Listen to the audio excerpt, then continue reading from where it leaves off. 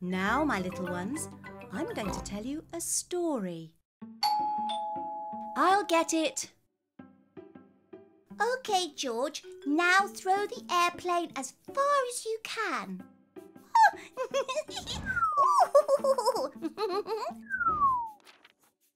Peppa, George, something came in the post for you. Grandpa Pig has sent Peppa and George some sunflower seeds and a letter. What does the letter say, Mummy? It says, Dear Peppa and George, here are some sunflower seeds to grow in your garden. Plant these in your vegetable patch and I will plant some in mine. Let's see who can grow the tallest sunflower. Love, Grandpa Pig. That sounds fun. I am going to grow a sunflower as tall as Daddy. Come on, George.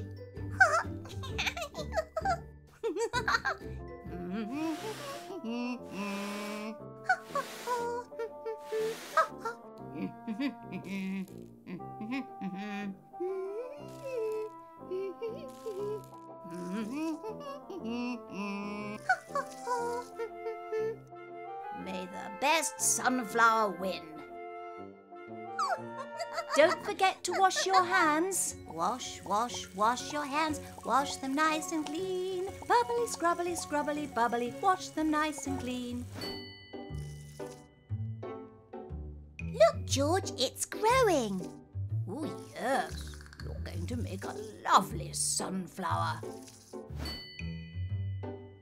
Look, George, our sunflowers. Yay! You're supposed to water the sunflowers, not me. These are coming along quite nicely.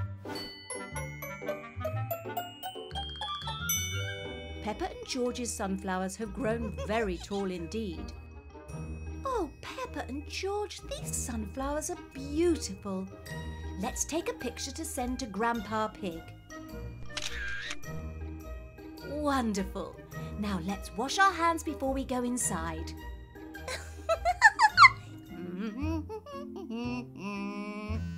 Did you hear that, Granny Pig? I think it's your phone, Grandpa Pig. Oh, it's a picture of Peppa and George's sunflowers. Come look, Grandpa Pig. Splendid.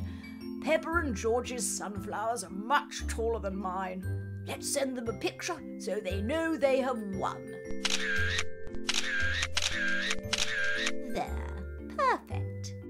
for you, Peppa and George from Grandpa Pig.